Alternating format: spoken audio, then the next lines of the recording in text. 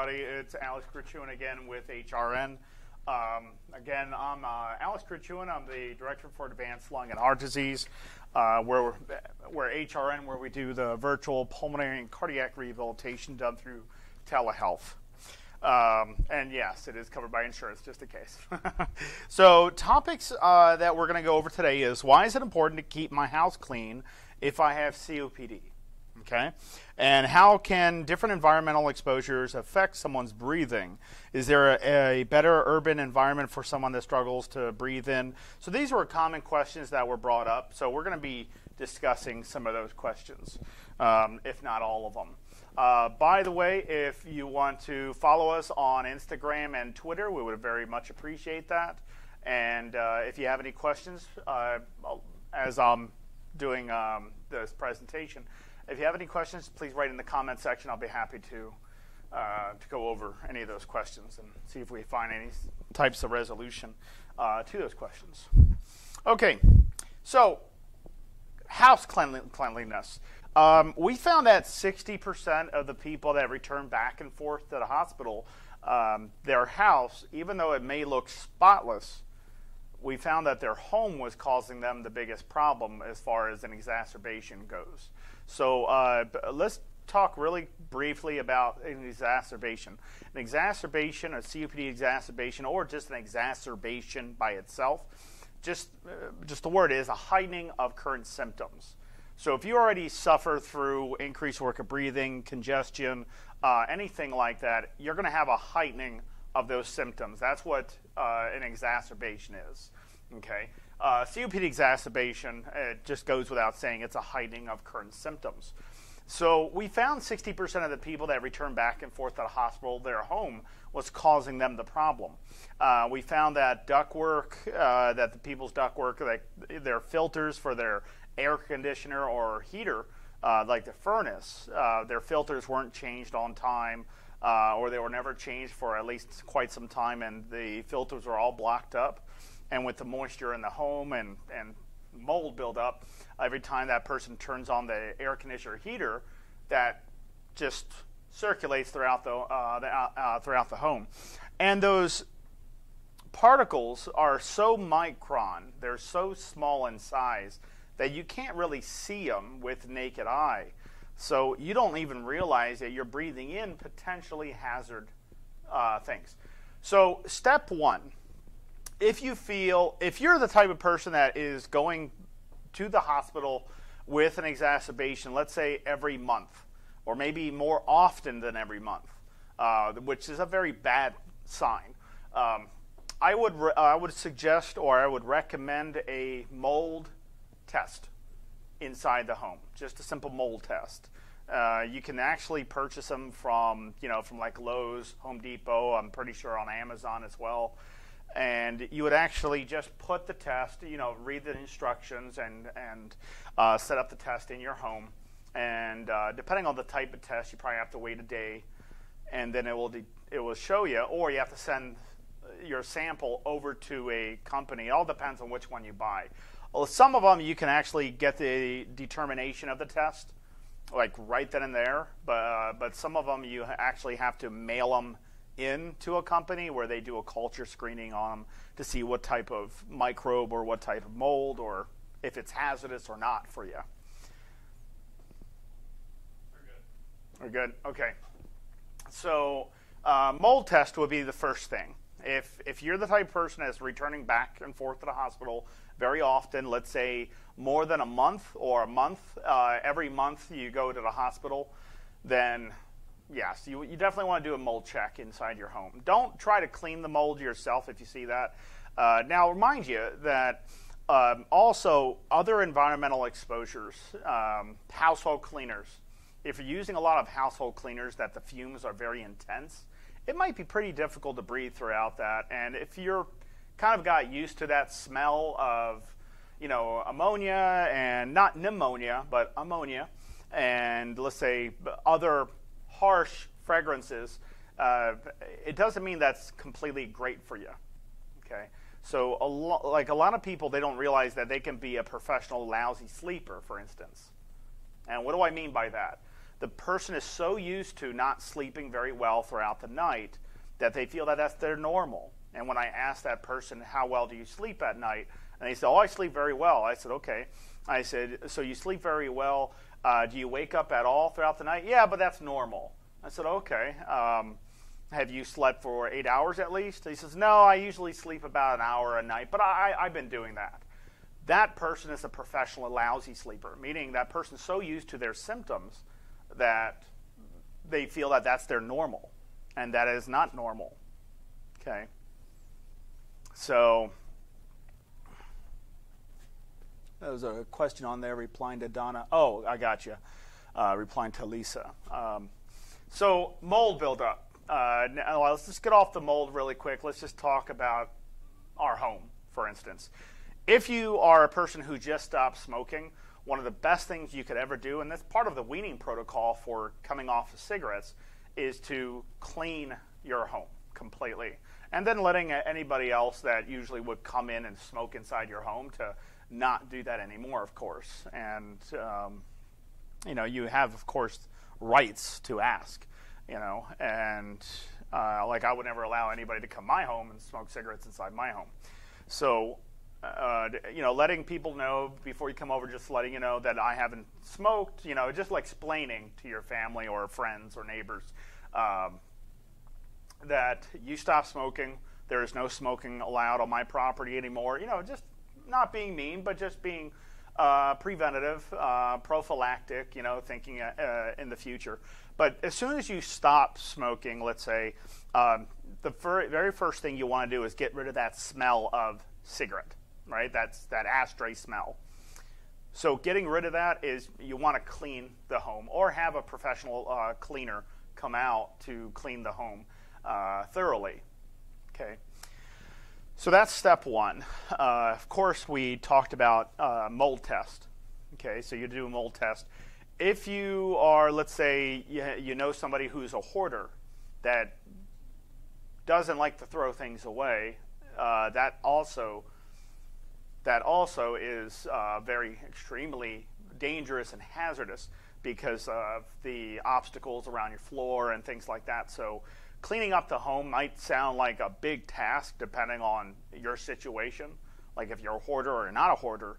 Um, and mind you, if your home looks very clean, it doesn't mean the ductwork, the, the air conditioning, heating ductwork in your home, you can't see inside that ductwork. So it's always a good idea to have a company come out just to check it. There's a lot of uh, uh, home companies, like uh, air conditioning companies, uh, servicing companies, that will come out for free just to scope your ductwork to see if it needs cleaning. And if it does need cleaning, they'll show you evidence, video evidence, that this is what it is. Uh, we also did a mold culture, and we saw there was black mold buildup, whatever the case may be. Um, and then you will, you know, of course, there is a cost if they find something and you um, and you want them to clean it. You know, there's always a cost to, to that, I would think. But please make sure you don't ever clean it yourself because if you're immunocompromised, and let's talk about immunocompromised really quick. Are people that have lung disease immunocompromised? Anybody? Yes. Uh, if you're sick, are you immunocompromised? Yes. If you have a flu, are you immunocompromised? Yes. If your body is fighting something else in your body and you bring something else in, you're immunocompromised. That's just how it is. Okay. Uh, see, please settle an arrangement. If uh, is there a difference between an spirometer and an incentive spirometer? So, a spirometer is a measuring tool because it's a spirometer, right, Karen? Uh, an incentive spirometer is a device used, uh, and the, so there's the the name of the device. Like you can say that's a car, right? Uh, but the type of car, it's a Toyota, or it's this or that. I'm not trying to bring up name brands here, but uh, so there's a name brand, but there's the subject. Okay, so the incentive spirometer is the subject. Okay, the maneuver is called an SMI. Uh, it stands for sustain maximum inspiratory or inspiration, inspiratory. Okay, so it measures how much air can come in. So if you say spirometer, it can mean all sorts of measuring devices that uh, you can use a spiret that actually measures volume, but an incentive spirometer is more specific. That's an incentive spirometer. That's something that we would give to a patient. So you wouldn't say spirometer, you would say incentive spirometer. Uh, just because, just like saying a tachometer, and then you have a NIF manometer. So all these different variations of uh, units of measurements and the uh, and what they're called is they're all very different. But uh, you would you would uh, you would say incentive spirometer if you're talking about an incentive spirometer we would use to measure lung volumes. Uh, see, Sandra, how do you tell a old person that likes to hug you and they smell like cigarettes? uh, all right. Uh, it's a great question. It's a really great question. So the question is, how do you tell an old person that likes to hug you and they smell like cigarettes? It's horrible that I don't want to hurt uh, no one's feelings. I, I, completely agree with you, uh, Sandra. Um, some of the so there's uh, what I usually do is I kind of rip the band-aid off. Is um, you know uh, I'll just kind of be jokey with it in a sense. So let's say uh, somebody wanted to uh, hug me, you know, and, and they hugged me and I smell cigarettes. Well, I'm not going to tell them right there. Maybe I'll, I'll be like on the side. He's like, Did you smoke cigarettes? Did you just smoke? And he says, I can really smell it. You know, I'll say something like that, kind of whispering in their ear, Did you smoke cigarettes? You know. Um, so that's one way. I don't think there's a uh, there's necessarily a proper way, but without hurting the person's feelings, I would be jokey about it because anything that you're going to say that will kind of insult them will make it feel like you're you're attacking that person. So I would actually bring it up as a joke, in a, in a way, but with a little seriousness seriousness in it. Uh, that's what I would say. Great question, though. Uh, see, please settle. Our, oh no. Uh, see, when do you talk about exercise tips and rehab? I can. Uh, that's what I'm talking about right now. Actually, um, uh, so uh, rehab, uh, exercise tips. So, as imagine this, okay, Joanne, imagine this, because this was your question. Imagine you're a clinician, okay, you're a, um, director of pulmonary or you know you're a respiratory therapist and underneath your license you have obligations um, and underneath your license you can handle you know you, you take on the responsibilities to help patients out and you uh, so you have a license that any time that there is uh, anything bad that will happen it falls underneath your license that means you're responsible. So if you gave bad information out or you did something bad to it with the patient and you gave them maybe the wrong information or something, it could cause harm. And then that person's license is revoked. It's usually on a suspension and then it will be reported. I never had anything happen on my license. Uh, and of course, it's, it's public information. You can easily go online, go on, on to the Maryland Board of Physicians and just type in my last name. Um, and uh, my first name, but usually just a last name, and it'll bring up my license. But there is no nothing bad on my license that I have ever done. So you're trying to give tips and tricks for people, right? And out of 10 people, one of them, let's say, passes out and hurts himself and was rushed to the hospital. Then that person, uh, then the doctor or clinician at the hospital says, What happened? He says, I was going over these tips and tricks um, on this video, and um, I, I, got injured. So then that hospital is like has to report it because that's that's their protocol. If there's neglect, if there's something that happened, they have to report it. Okay. So when I give tips and tricks, they're going to be the most basic standard of anything because I don't want to give an advanced tip something like advanced, like where it monitors heart, where it monitors lung volume, where it monitors this and that, just because you will need a clinician who studied that, who is an expert in their field. Because if you try to give a tip and trick to somebody and they injure themselves because you can't see that person, I don't want anybody getting hurt in this. I don't ever want anybody getting hurt in this. I, I, I just can't give extreme tips and tricks. Okay, so exercise tips, sure. Rehab tips, sure. Well, we can definitely go over some of those. Um, I always bring up the safety precautions, so just so everyone's well aware. Okay, so yeah, I'll bring that up. That's not a problem. Uh, just stay tuned for uh, right now, and uh, I'll bring that up in just a second. Let me just go over some of these questions and get off the topic here. Okay, Joanne, no worries. Uh, see, Karen, are you familiar with PEP, buddy?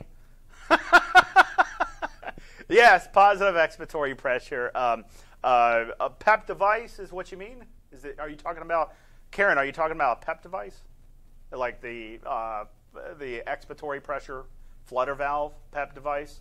Like the, there's the Air Physio, there's the VPEP, uh, Aerobika Acapella. You know, there's all sorts of them, but uh, I am very familiar with those, of course. Um, that's that's my field, and anything with pulmonary. So um, uh, yes, uh, you would breathe in really deep. You'll breathe out through it. Let me grab one. Let me grab one. Any one that in particular you want to know about? Uh, let me go grab one. That means I would have to jump off camera. Would that be okay for a second? Uh, yeah, uh, everything should be on the side door there. Perfect. Thank you. Ah, yes, yes, yes. Perfect, perfect. Okay. So I have a PEP device right here. This is called a VPEP. Okay. Like I said, there's a lot of variations of different ones. I like the VPEP just because I can take the mouthpiece off, take the top cover off, and take the flutter and actually clean them thoroughly. I can even put them into the dishwasher if I wanted to. And they it's just like a big key. It actually gets put together, uh, and it's kind of hard to put it together the wrong way, you know. Um, so, anyways, on top of the VPEP, you have a resistor. On the, this resistor, it's uh, it's what we call an aggressor, meaning that when I breathe out through it, let's say I have it. Let's say where's my positive sign? There it is, my positive. Okay, so if I push this dial away from the mouthpiece. Excuse me. If I push this this little lever on top of it, can we get a close up shot of this? Uh, sure. Just go to your left. There you go. Oh, Okay. Sorry, right. That's my right. This one, right? Yes. I'm in the right. So there's the lever right here. It's a little slider. I know the picture's a little blurry. I apologize, but there's a little slider right there. So it's just on top of that. On the acapella, it's on the back of the acapella. So let's say I didn't know how to use this, and I breathe in. I exhale. It flutters. Is that all I have to worry about? Well, let's say the aggression of how much it's vibrating your chest is not as aggressive. It needs more umph, needs more power. So then I'll increase the resistance on there by moving the slider closer to the mouthpiece. And that will increase the aggression, okay, making the vibrations of my chest more violent. So I breathe in. So the rule of thumb is you want to breathe in as deep as you can. Exhale. Breathe out full breaths. Every 10 time every 10 breaths you do through this, so every 10, take it out of your mouth and cough 3 times. So let's say that was my 10th. I'll take a deep breath in, cough, deep breath in again, cough, and then repeat it the uh, third time. then I will put this back in my mouth. How often is this done? Choose the right audio apps for you. How often is this done? This is done as needed. Usually it's done in the morning, okay, to kind of set me up for my morning. So uh, it's usually done in the morning or when I take medication. So let's say I take my respiratory medications, I can use this. I can attach a VPEP, uh, the, the VPEP with a T-piece on the nebulizer and use the nebulizer in line with this to actually bring in the medication as I breathe it in. And the T-piece just goes on the back end of it. You breathe in the medication, you breathe out the congestion. Okay, so, so you'll knock two birds out with one stone.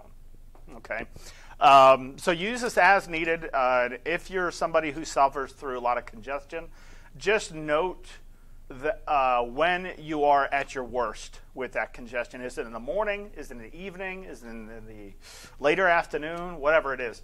If you're more congested in the morning, then use this in the morning. If you're more congested in the evening, use this in the evening. Okay? You will do it about 10, to- 10 breaths, 10 times. Uh, the session time should be about 10 minutes. Should be about 10 minutes. Okay? If you still feel there's a lot of congestion still in there, just double check and verify that it is congestion because a lot of people feel like they're congested, but it was just severe inflammation. Okay? But uh, and how you really know that is you're coughing, but nothing else is coming out. It just feels like it's sliding up, but nothing's coming out for you to cough up. Right? Uh, that might be grade A inflammation. So you use this. At, so you use a VPEP as needed. Uh, is this as important as using the delta V? Yes, the delta V. So it's a good question. It's actually a really good question. So VPEPs are to remove congestion. Delta V's are to strengthen is to strengthen the muscles for your respiratory system. Okay, uh, so like if I'm working out, I will work out three times, maybe three times a week, right? So when you have a workout tool like a Delta V, like this one, you have a muscle trainer. I would use this every day, if not three times you know, uh, uh, usually the rule of thumb is six times a day, 10 minutes each. But just like if I'm going to work out, and let's say my lungs are really good, but I want to strengthen them up anyways, Uh, and let's pretend I don't have lung disease, I'll do it three times a week. If I have lung disease and my volumes are shot, meaning I don't have, I can't bring in a lot of air into my body, then I'll use a Delta V six times a day, 10 minutes each until my volume is up to a good human level and not a very small animal's volume what I'm trying to say is if you're breathing this shallow, like you have lungs this size, versus your lungs are actually this size. So if you're breathing shallow, then I would use the delta V until it's up, until your volumes are up to uh, at least half of uh, that's 65 milliliters per kilogram of ideal body weight.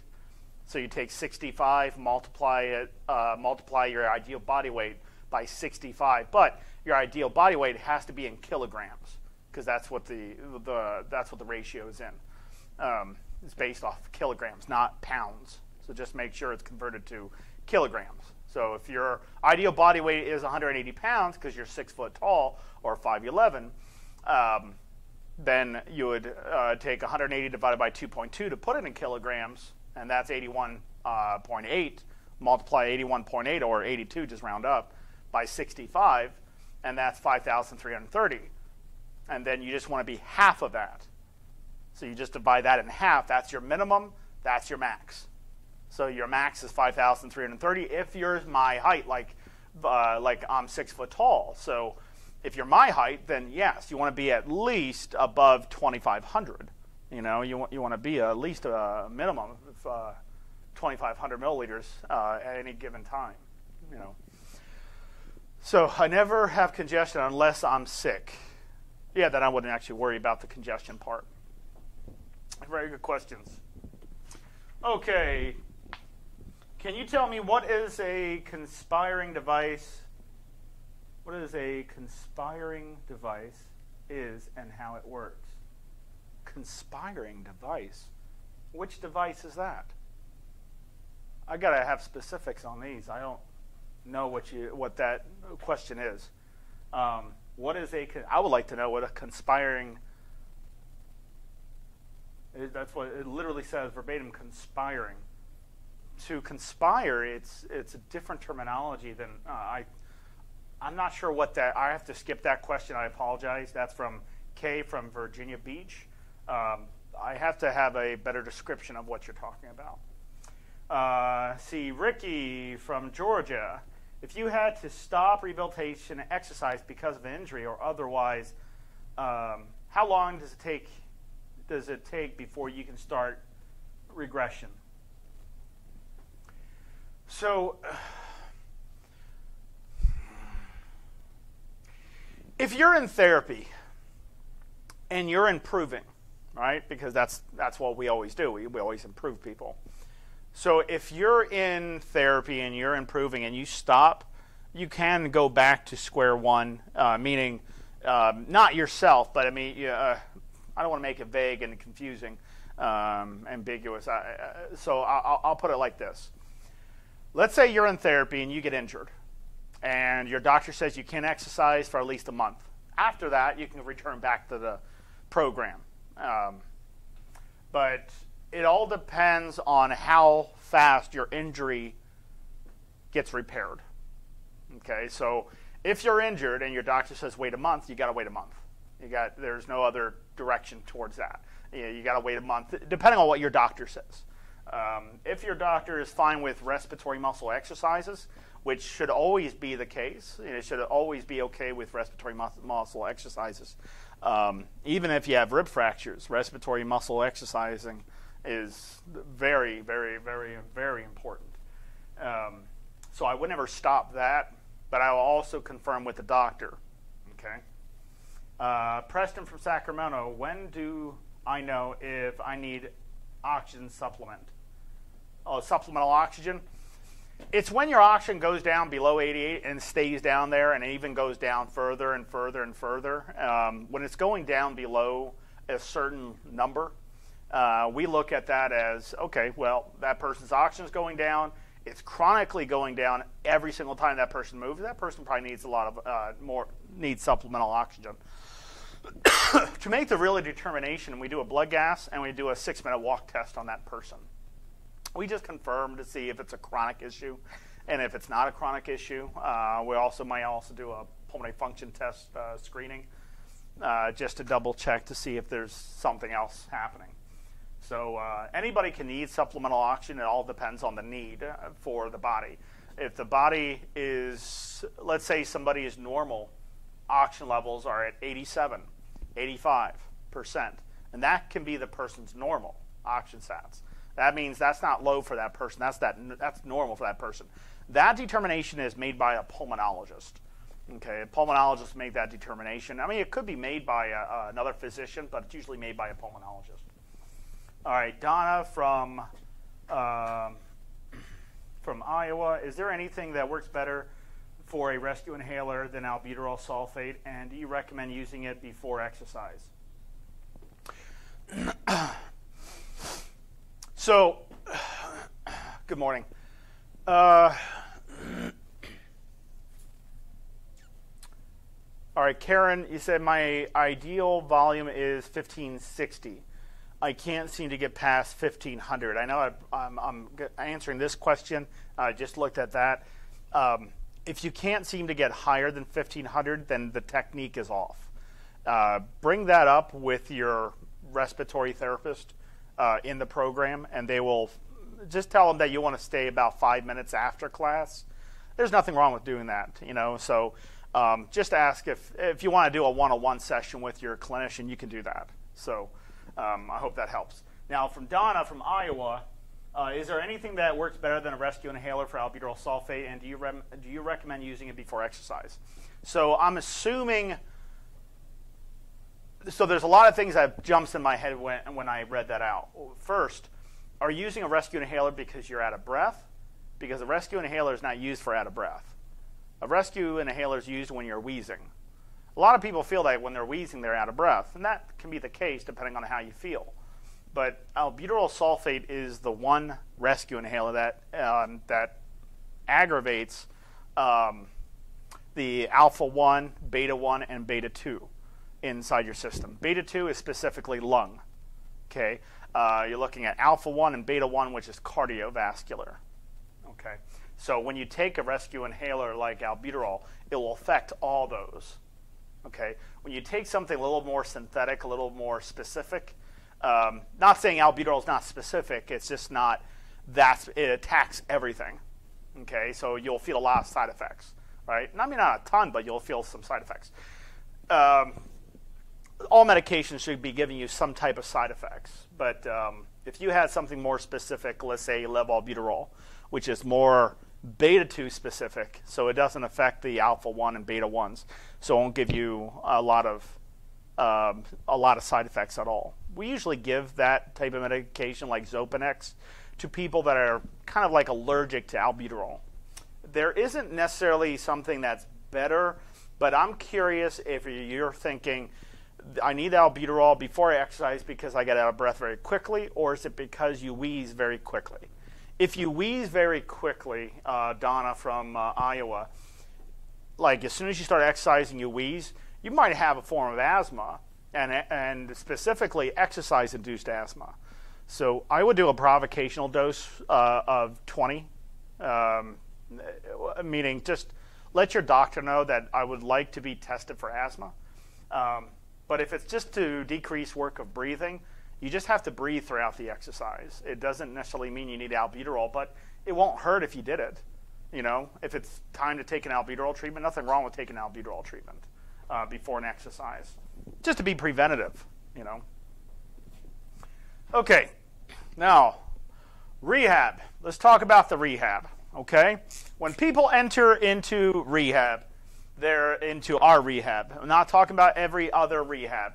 I've governed about 75% of the rehab facilities in the tri state area uh, when I first started out as a respiratory therapist. Um, so I governed Virginia, Maryland, and, uh, and DC. And I have to tell you, um, there were some parts in Pennsylvania, but it wasn't a lot that I traveled to. Um, so with rehab, the first thing is we do first things first. Let's say phase one. Okay, a patient is admitted into our program by a referring doctor. The referring doctor can be your doctor. Um, if you don't have a doctor, uh, then we will um, uh, we'll work something out with a attending doctor that actually worked with you, that has knowledge of you. Um, and we'll, we'll, we'll actually call that doctor specifically. So, first, patient comes in, not physically, just calls us up. So, we have a patient, okay, comes in for the first program and gets a, a consult with a doctor.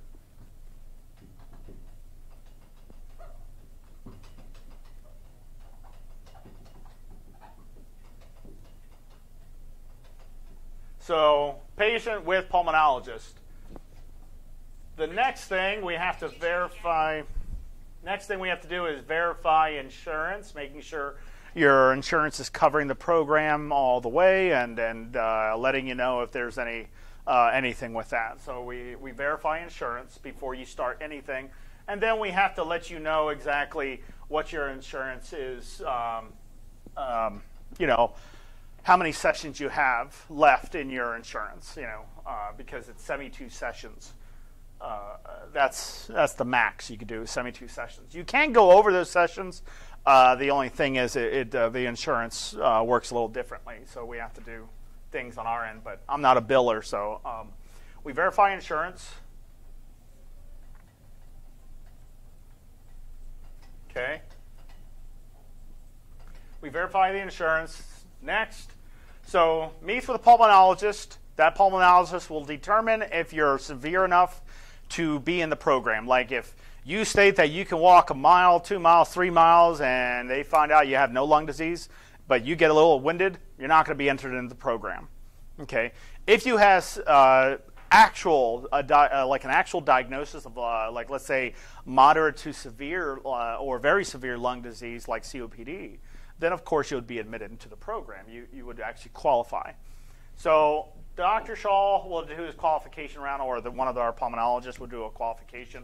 Then we'll do an uh, insurance verification. After that, an RT will do a care plan. In that care plan, we have to make sure that you understand um, everything in the program before you start. Now, mind you, you haven't started anything yet. All you did, you met with the pulmonologist, we verified insurance, you're good to go there. Then we do a care plan, where care plans are based off of your complications. So we have to, it's all individualized. So what that means is that based off of your height, your you know genetics, uh, your disease, we make a care plan based off of your complications, not everybody's, just yours. So we'll do like what's your maximum heart rate levels, where that you need to be at, uh, volumes, uh, lung volumes where they're supposed to be at, you know, and uh, and what we're going to be working out and all that jazz. After that, then you start your first day with your assigned clinician in class. You pick the time that you want. Let's say you pick the four o'clock class. or maybe a 3 o'clock, and that's based off of Eastern Standard Time. So you meet with uh, first day of class.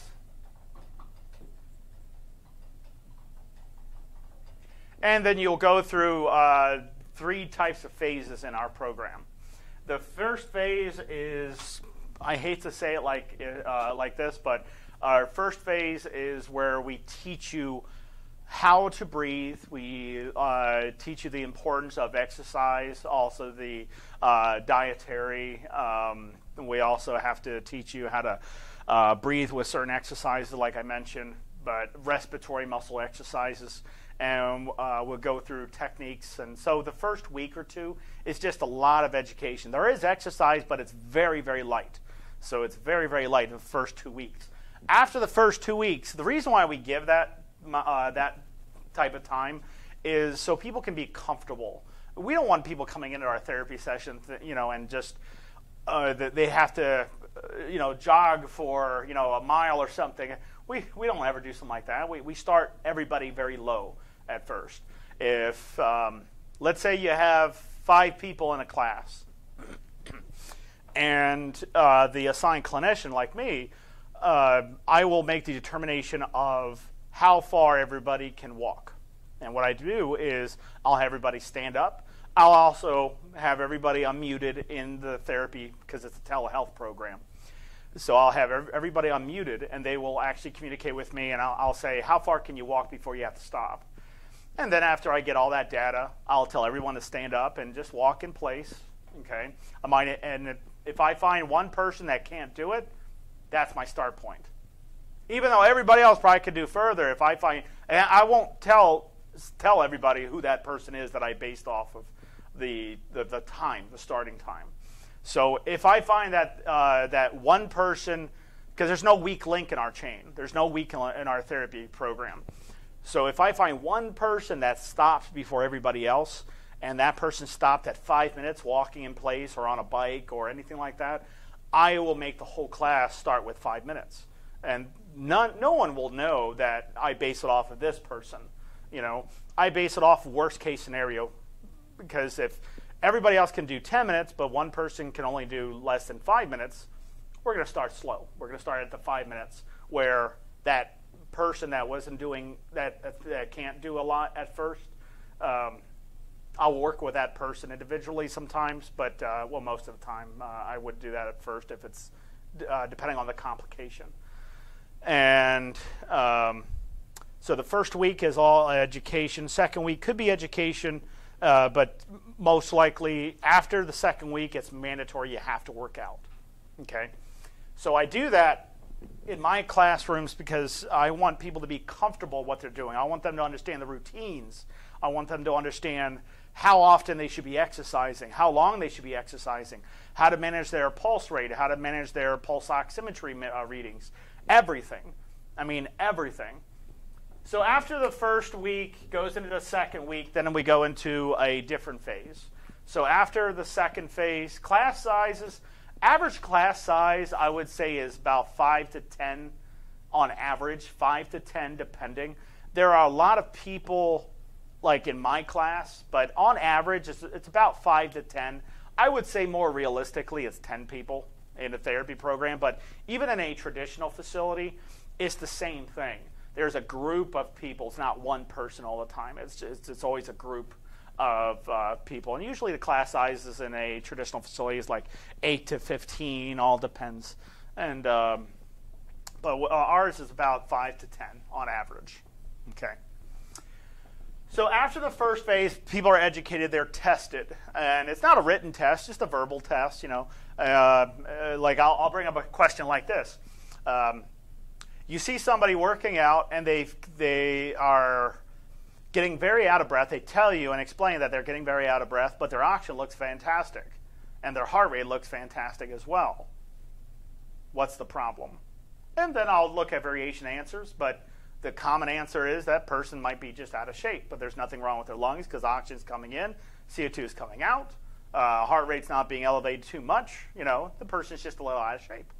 You know, not a big deal. Uh, another question I could bring up is like, and let's see if anybody knows this answer. Okay, let's see if anybody knows this answer.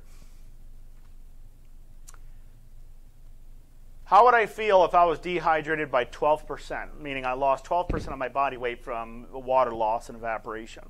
How would I feel? Would I feel lightheaded, dizzy? You know, how would I feel? So the answer to that is you wouldn't feel much because you'd be dead. You'll be in a coma, you know, if not already dead. Um, 12% is all you need to land in a coma, by the way. 2% dehydration loss, your balance is a little off. Uh, vision is starting to get blurry. Um, about 4% in, uh, 4%, you're incredibly thirsty. Your uh, mouth is starting to get really dry, cotton mouth kind of uh, symptoms. Uh, you're starting to get really cold, and you're going to start walking on all fours, meaning you can't stand up. Your, your balance is completely off. Okay? Around 8, you're, uh, you stop sweating. You're getting super cold and very, very, very, very tired at 10, 12%. Once you hit 12% dehydration, you're, uh, I'm sorry to say, you're a goner. so that's like a question I would bring up. You know, so I'll, go over these questions, and um, if everyone does well, great. If uh, if I see a couple people that didn't do well, I'll make sure I bring up those, uh, you know, that that class again uh, to talk about that subject, so that person can be uh, um, aware of the answer. Um, th- uh, about thir- uh, second month in, uh, everybody's usually, and mind you, these are people that probably couldn't do more than like 10, 15, 20 feet at first. You know, second month in, a lot of people are usually at around 25 minutes on their bike, going around uh, about 7 to 11 miles per hour on their bike, which is this fast, roughly. Okay. They're going about 7 to 11 miles per hour. And so that's an RPE of around uh, about 2.5 to almost uh, 4. Uh, RPE is rate of perceived exertion. so everybody in that class is usually up to about 25 minutes nonstop on the bike. Okay, and they're walking. They're doing a lot more. Uh, I get results back from their pulmonologist about their uh, pulmonary function test. I'll explain the pulmonary function test readings to the patient if the doctor didn't explain the pulmonary function test uh, to that patient. And um, uh, basically, at the second month, I start looking at the seeing if we're completing goals. Goals, like realistic goals, I'll write this up. You can't get like so goals are are made up in the care plans. So let's look at goals really quick. Siri, I am not talking to you. Uh-oh. Sorry. My watch responded. Technology now. Uh, anyways, goals. Okay. I want to wean off oxygen.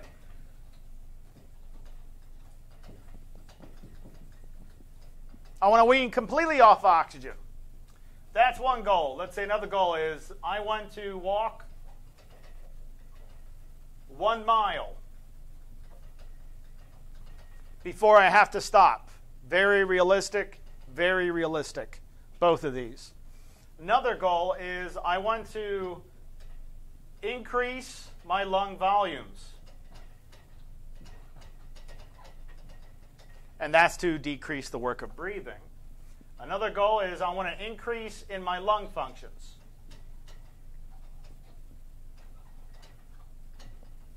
Okay? These goals are realistic. Okay? The person probably, when they first started, is on maybe, you know, two to maybe six liters per minute on oxygen. Okay?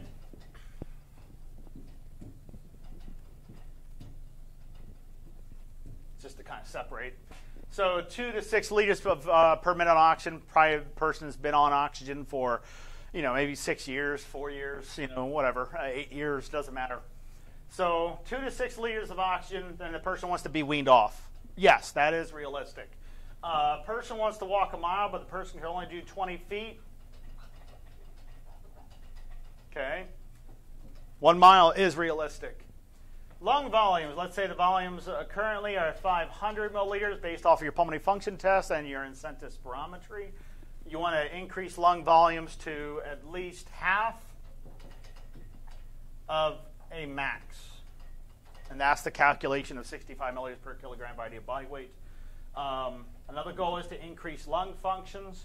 So I'm going to look at the FEV slash FVC and making sure there's an improvement in that. Um, how much it improves, it depends on how aggressive you are in your exercises. So if you're doing exercises and you can't do a lot, not a problem. Okay. The first things we do is uh, we understand that you get out of breath very quickly. So we're not going to try to work you out and discourage you because you're exercising with us and you're getting out of breath quickly. It's just going to discourage you. First thing we do is is work out your lungs a little bit, get them up to be more compliant, more oxygen coming in, more CO2 coming out. Um, then we start working you on cardiovascular. We don't like to work people in cardiovascular at first. You know, we might do it as on a test, you know, just just to test it to see where your problem's at. But uh, we never start people out everyone exercising first day of class, and we never do that.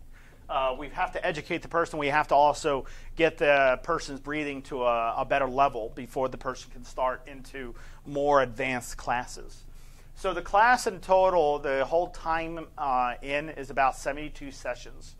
Um, and uh, uh Medicare allows us to, um, uh, like if you needed extended time, if you needed more time or something, uh, we couldn't do. We can issue a modifier, but we have to look at medical necessity. So we would have to send a note out to your doctor, which you, happens all the time here.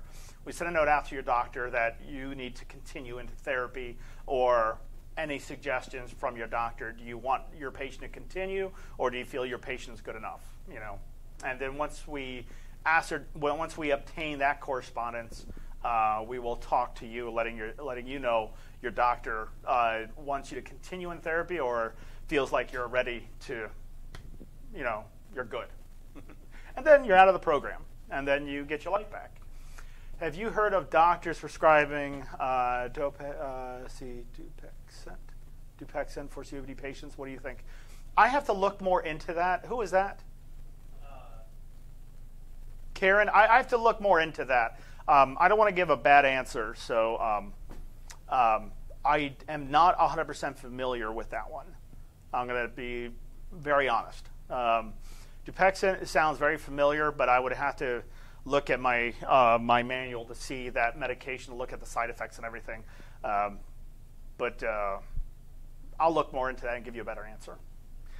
Let's see, Lynn. I started the application process with you, and before I got it, uh, uh let's see, before I got any information, on it, my insurance would cover my participation. I got a text saying I needed to set up a consultation with Dr. Shaw. I didn't follow through because I was worried that rehab would not be covered for me and didn't want to end up with all that. Um, the consultations, uh, so we work just like a doctor's office because we are a doctor's office. So uh, if you, anytime you go in, it's not like you're getting billed for all these things. It, we don't we don't do that. Um, you get uh, the insurance is, you know, the insurance covers the program. So, so the company is very smart. If they see that you have this insurance, and let's say you had a secondary insurance, most of the time billing will already know that it's covered, you know, automatically. You know, so if they're bringing you in for a consultation, then it's covered. But um, yeah, I wouldn't actually worry about that, Lynn. I would uh, definitely follow through. The worst thing you could ever do is not follow through to something that can actually fix your life. It's different if we just enhance it just a little bit. Okay, but we're talking about an actual program that actually does justice. Okay, if you're looking for a program that actually does well, yes. So, Lynn, no worries, but I wouldn't be worried. I'll follow through. Okay. Um, covers one on the. Say, please tell me what uh, at what point I will get confirmation my insurance will. Um, all you have to do, Lynn, is just contact us uh, on, billing. Just contact billing. You just contact us and ask them you want to talk to billing, and uh, they'll just see it right then and there. So um, I would definitely do that. Okay. I need this so much, and I can't afford any medical IOU on my fixed low income. No worries, Lynn. I, you know, the, these programs are there's a lot of good programs, uh, but we know where we stand on on success rates. You know, because that's that's all we ever do in here is pulmonary and cardiac rehabilitation. But don't be worried about things like that. Um, we understand people's uh, you know uh, uh, problems, and and we also have solutions to those. So we can always work something out. Okay. So just hang in there, Lynn. But uh, definitely call us today, and just to, just ask them to talk to billing, and just make sure that you're you get verification that it's um, everything's covered. Okay, no worries. With billing, let's see. Okay, now the question on rehab and tips. Okay, question on rehab and tips.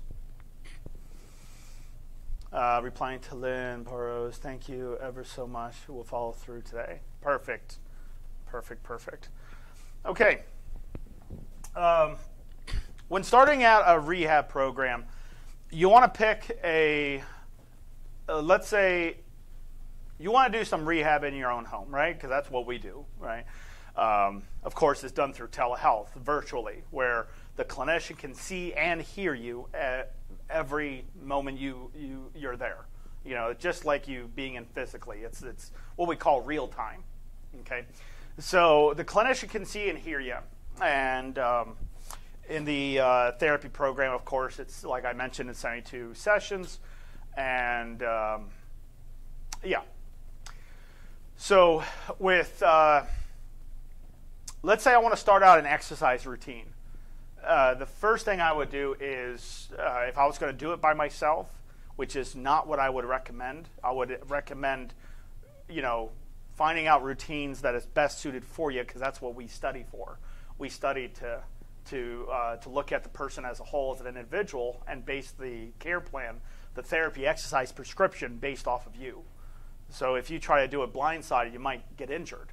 So the safest thing I could say is if you're going to try to do it yourself at home, you have to know what your maximum heart rate is. And that's 220 minus your age. And then you want to be at 40 to 80% of that max. Second, you want to know your maximum lung volume, what is your body capable of bringing into your into your lungs? Like how much air, the volume of air, how much of that can come into your lungs, and where are you currently? Okay. Once I do that, once I figure out that, then we'll figure out uh, look at uh, any other complications. Do you have a bad hip? Do you have a bad back? Do you have a bad neck? Do you have you know something else? Do you have diabetes? Do you have this and that? Because we every therapy program has to be orchestrated specifically catered to you. Okay, one program is not for 100,000 people. Now, respiratory muscle training should always be done by everybody. You know, cardio training could be done in a group. That's that's easy to do. You know, because everyone's doing the same thing, but everybody works out in their own uh, their uh, their own prescription, right? So you would have to know what your maximum heart rate is, maximum lung volume. You want to start with uh, those problems. So if your volume isn't high, respiratory muscle training. Um, if you have a lot of congestion, removal of congestion if you have problem with wheezing uh, and you, you have uh, you know poor medications or compliance with your medication, maybe you have a problem with your CPAP, uh, your PAP device, you know your sl- sleep apnea machine. Maybe you have problems with compliance with that. Um, I would have to know that information before I can orchestrate a proper exercise program. But the exercise program, nonetheless, would be three and fives. Three sets, five repetitions. You would divide the body into half you will do two days upper trunk, two days lower trunk. Okay, meaning I would work out, let's say I'll work out my chest, um, I'll work out my chest, my arms, my shoulders one day, and maybe on that same day I'll, I'll try to do some calves. Next day I'll, I'll devote straight to legs. Next day I'll do some abdominals. Three and fives mean three sets, five repetitions and then I will increase that, you know, perpetuate the timing and the resistance. So if you started with a three pound weight, and after about a week, uh, three pounds feels very light, I'll go to four pounds and slowly increase the weight as we go. Okay? And the more increase, there is a cap on it, meaning um, once you're at about 30 minutes on the bike, going around 7 to 11 miles per hour with no problems breathing, no problems that, that's all you have to really maintain yourself. You know, if you can do 30 minutes a day, on exercise. It's pretty simple to do. I mean, if you ever have a pedometer, put a pedometer on you and, and just don't even worry about anything. Just be in your home, do the activities you usually do on a daily basis and see how many steps do you put in on a, uh, per day. And if you're at 2,000 steps, then that's a mile right there. There you go. You know. So activities, you know, making the bed, doing dishes, doing laundry, uh, doing gardening, anything like that is still considered an exercise. And remember, what's a good uh, exercise? Something to increase your heart rate by what? 10 beats. The other thing you want to do is also find the exercise that you will do for the long term. Okay. Let's say walking is not your favorite, then you wouldn't pick it. Okay, good exercise, but let's say you didn't want that one. You just have to we would have to pick an exercise that you could do that you enjoy doing and we'll change it up. Let's say you don't like riding the bike alone, so you'll we'll probably add in some music to it, you know, different things to make it more enjoyable. Uh, but uh, yeah, we base the exercise off of you, but um, you have to pick an exercise that you could do that's affordable, that you can do at home.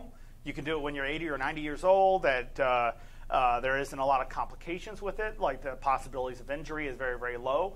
Good exercise to pick, right? Something that you enjoy doing, something that increases your heart rate, has a benefit. You know, like what's the benefit off of uh, biking? Well, helps the heart, helps with depression, helps with diabetes, helps with a lot of other things. You know, there's, um, I mean, if you could take exercise and put it into a pill form, it would be the best pharmaceutical agent to date. You know, because it literally fixes a lot. So um, that's the best I can do as far as tips and tricks. Now, uh, as we do more of these videos, these live feeds, I'll bring up some. Would that be okay with everybody? Well, when we first start out, I'll bring up an exercise we'll do together, and then I'll go into the topics. You want me to do that? Let's put a vote to it. Uh, I need at least five yeses. Please. If you want me to do an exercise, just a simple exercise in the beginning of these live feeds, just say yes. Okay, I got one. I got two. I got three. I got four. I got five. I got six. Anybody else? That's okay. It looks like you got. I got ten. All right. I got eleven. okay. So as we put it to a vote, everybody, that's exactly what I'm going to do then. So in the beginning, let's say uh, starting on Thursday, I'm going to bring up a small exercise in the beginning of the live feeds. Okay, and it will be about five to ten minutes um, it'll be five to ten minutes, and I'll let you know exactly what you'll need for that day. Um, so let's let's do Thursday. Okay, we'll start this on Thursday. Is that okay with everybody? So let's start this on Thursday. What I'll do is, right now I can do it on top of my head, so I can do it on top of my head. Thursday, I'm going to need two weights of equal weight. So it can be soup cans, water bottles, uh, therapy bands, free weights up to five pounds. Uh, we'll start with that. So uh, please wear comfortable clothing. Make sure you have your pulse oximeter with you, and we'll start this on Thursday. Remember, they're only 10 minute sessions, okay? So they're only going to be 10 minutes, but I'll do it the first 10 minutes on our live feeds. I'll do a 10 minute exercise. It could be stress management. Uh, and if you have topics or exercises you want me to do, just share them on the comment section, and I'll be if there's a lot of people that want to do respiratory muscle training, then I'll bring that up as as our 10 minute session. If you want to do cardio training, if I don't get a lot of feedback on this, then I'll just make it up myself. Meaning, I will do Thursday as cardiac, uh, but this Thursday that's coming up, it's going to be with weights. Okay, I'll just I'll start it off. So some weight training, very light, Nothing too aggressive. Okay, very light, nothing too aggressive, but we'll start that on Thursday. Am I going to see everybody back on Thursday? RMT, please. I'll bring that up. That's not a problem. I'll bring I'll bring that up. This Thursday, uh, it's going to be weight training. So as part of the weight training, I'll also include respiratory muscle training, since that is considered weight training. Okay. Um, if you can do me a favor, can everybody do me a big favor in here? I see there's a lot of people on here. Can you just guys just do me one hot, favor? Okay, let uh, share this or share the announcement to all your friends if you can. just and especially people that have a hard time breathing because this is stuff that is helpful for them. You know, so if you have, if you find anybody you know, like on your Facebook, on your Facebook page, on your own personal account, just kind of share our link um, to your friends and just let it let people know because the more the merrier. And there's a lot of people out there that don't even know about us. They don't even know what HRN stands for. It stands for the Home Rehab Network. Um, it would be very, very, very, very helpful, uh, especially for them. I mean, you look at it this way, you're going to be helping them tremendously. Uh, so if you can do that for me, uh, for me, and also if you have time, if you can follow us on Twitter and Instagram, just look, just type in on the search on Instagram or Twitter uh, on Home Rehab Network and follow us on that, and uh, if you can on YouTube as well. But um, other than that, share all the time. Thank you, Jackie. Uh, there's a lot of people out there that need our help, and we're, we're trying to oblige. Okay, we're, we're doing the best we can with that. So um, that would be very helpful. Any, anyways, guys, that's it. I'll see you guys back on Thursday. Free weights up to five pounds. You can use soup cans, water bottles, anything like that. And I'll see you guys later. See ya.